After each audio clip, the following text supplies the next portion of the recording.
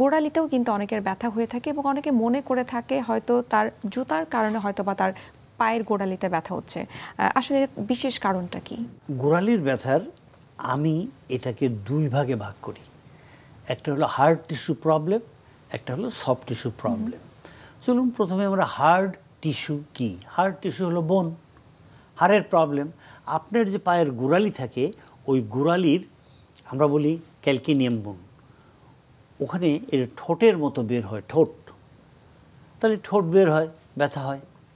আর একটা প্রবলেম হয় around the ankle muscle যদি ইমব্যালেন্স হয়, ঠিকমতো কাজ না করে, আপনার medial arch of the foot যদি ঠিকমতো কাজ না করে, আপনার এই টার্সাল বোনের মধ্যে যদি কোনো প্রবলেম হয়, এখানে যে মাসেল অ্যাসেসমেন্ট আছে তার যদি প্রবলেম হয়, এবং ফাইনালি একটু আগে আমরা কথা বলছিলাম যে গোড়ালির পেছনে একটা মাংস অ্যাটাচমেন্ট হয় তার নাম হলো টেন্ডোঅ্যাসিলিস টেন্ডন অ্যাসেসমেন্ট হয়। উপরে মাংস থাকে ওইটি এসে টেন্ডন হয়ে অ্যাটাচমেন্ট হয়। যদি সেখানে প্রবলেম থাকে ওখানে রেক্টো ক্যালকেনিয়াল বার্সাইটিস হয়। তাহলে আপনার গোড়ালি প্রবলেম হতে পারে। এখন আমি তো সবসময় বলে থাকি অ্যাসেসমেন্ট না করে কোনো চিকিৎসা নয়। সঠিক অ্যাসেসমেন্ট সঠিক চিকিৎসার চাবিকাঠি। এটা আমার সবসময় আমি বলে থাকি। তো তাহলে আমরা অ্যাসেসমেন্ট চলুন অ্যাসেসমেন্ট করে নিই। ফার্স্ট অ্যাসেসমেন্ট হলে আমরা চোখ দিয়ে দেখলাম পাটাকে বললাম জুতো সরান মোজা সরান পাটাকে দেখান। পাটাকে হাত দিয়ে ধরলাম ধরে দেখলাম যে তার পূর্ণ ডোরসিফ্লেকশন হয় কিনা। পূর্ণ প্লান্টার ফ্লেকশন হয় কিনা ইভার্সন হয় কিনা ইনভার্সন হয় কিনা। This are the common movement of the ankle joint দেখে নিলাম। দেখি যে তার সেখানে কিছু প্রবলেম আছে। থাকবেই কারণ ব্যথার জন্য মুভ করে না। এরপরে আপনার পেছনে যেটা রেক্ট্রোক্যানকিলের বার্সাইটিজেন হয় ওখানে আপনি থাম দিয়ে আস্তে করে চাপ দিলেই দেখবেন ও ব্যথা ব্যথা। এরপরে আপনি চলে গেলেন যে তা আর্স ঠিক আছে কিনা। পায়ের যে আর্স এই আর্স ফ্ল্যাট হয়ে যায় ফ্ল্যাট ফুট হয়ে যায়। অনেকেই এই ফ্ল্যাট ফুটের জন্য ওখানে একটা প্যাসিভ আর্স বানিয়ে জুতোর মধ্যে লাগিয়ে দেয়। আচ্ছা। কিন্তু আমি এখন আর এগুলো করি না। কারণ প্যাসিভ আর্টস তো প্যাসিভলি থাকবে অ্যাক্টিভলি কী হবে, কিছুই হবে না। আমার তো অ্যাক্টিভ দরকার। অ্যাক্টিভিটির জন্য আমি চিকিৎসার কথাটা একটু পরেই বলব, আগে আমি প্রবলেমগুলো বলে যাই।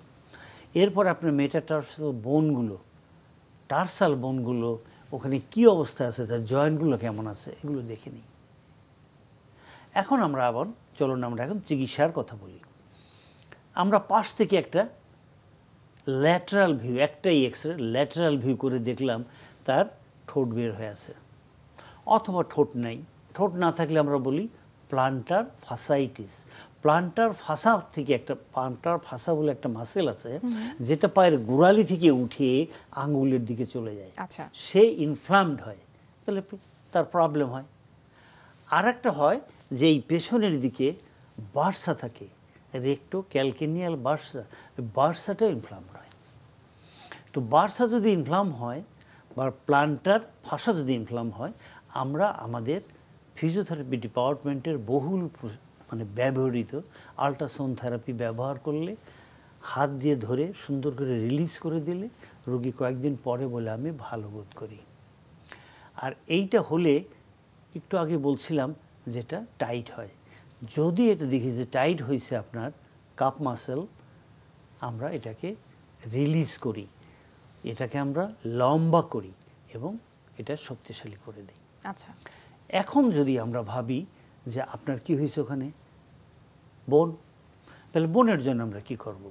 আমরা এখানে কোল্ড কম্প্রেশন ব্যবহার করি আমরা টাউল ক্রিপিং করি এবং আরেকটা জিনিস করি চা চামিচ আছে চা খাই চা চামিচ দিয়ে যে জায়গা থেকে ওটা উঠে এরকম আসছে, একদম পেছনের যেখানে রেক্টে ক্যালকিনিয়াল বার্সা, এ পর্যন্ত আমরা ক্র্যাসিং করি, আস্তে আস্তে আস্তে আস্তে চামিচ দিয়ে ক্র্যাসিং ক্র্যাসিং করে করে করে করে একটা এমন একটা পর্যায়ে নিয়ে আসি, মুভ করেন। বলে আগে যে ব্যথা ছিল সেটা তখন নাই।